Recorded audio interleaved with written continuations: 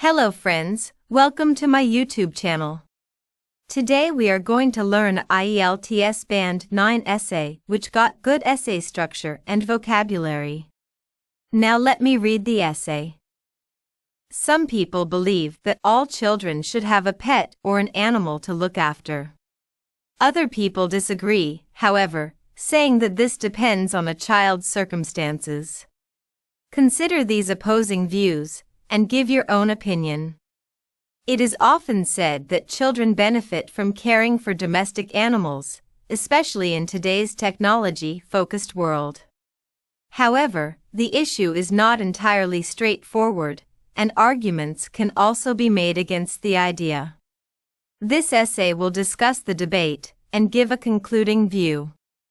On the one hand, those who support the ownership of pets cite the various benefits that the activity can bring to a child. These range from understanding nutrition to learning about biology and daily routines.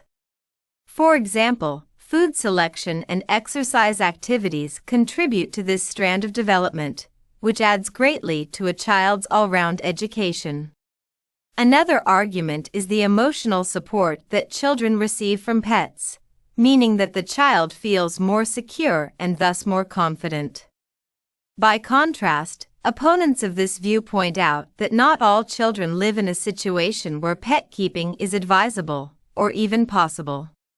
Examples can be seen in less affluent countries, where the expense of maintaining a pet may be prohibitive.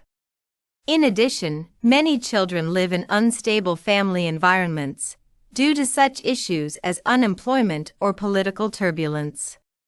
For these families, pets would probably suffer neglect meaning that it would be unfair to keep them, or possibly even dangerous. Finally, it must be said that not all young people actually want to keep a pet, because their interests lie elsewhere. For these youngsters, animal ownership should not be encouraged.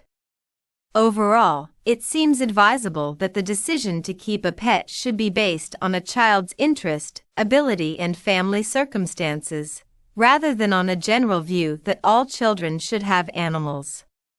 It would appear that this serves the interests of both the children and the pets involved. Here we used some conjunctions which are linking words or phrases which connect ideas and sentences. However, on the one hand, another argument is by contrast. In addition, Finally, overall, there are also conjunctions to show that the ideas are being illustrated with examples. These range from to.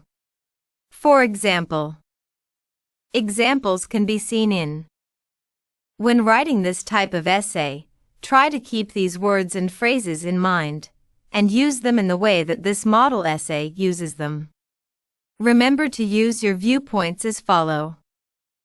Overall, it seems advisable that it would appear that in opinion type essays, try to use one of the following phrases at least once to express your view.